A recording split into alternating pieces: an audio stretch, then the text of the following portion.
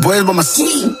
Know that they ride or die. I keep boys by my side. Cardi B didn't necessarily think Offset was marriage material when they first met in an interview on Friday with Sirius. The morning mashup, promoting her new single with Megan Thee Stallion Bongos. The I Like It rapper 30 opened up about how she never would have thought that she'd marry a member of Migos after hearing their song Versace. She then explained how the pair are very different.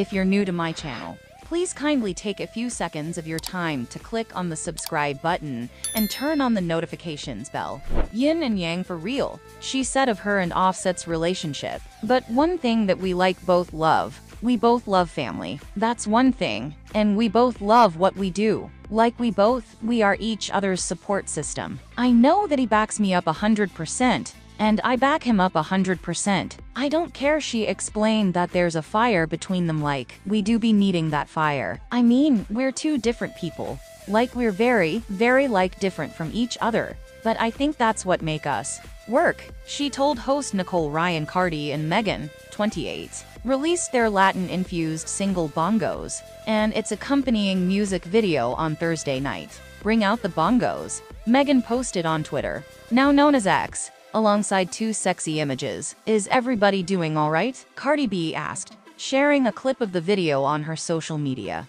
The music video features the rappers dancing on the beach and pool in extravagant outfits, accessories, and vibrant backgrounds. In the vacation-inspired visual, Cardi wears a variety of outfits, including a large, teal-feathered hat and an orange bikini top, while Megan rocks a multicolored green one-piece in one of her looks, in addition to a golden yellow swimsuit, with a matching gold skirt. The rappers matched outfits near the end of the video, wearing cherry red swimsuits the duo, whose real names are Belcalis Marlenis Almanzar and Megan Pete, initially began teasing the release of Bongos on Monday via Instagram, revealing their latest collaboration would drop on Friday.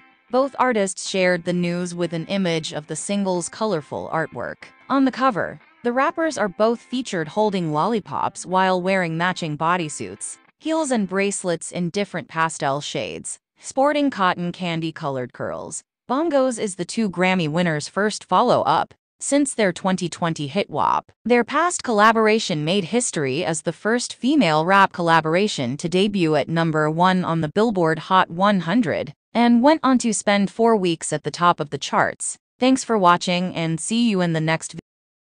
Boys by my side. Know that they ride or die. I keep boys by my side.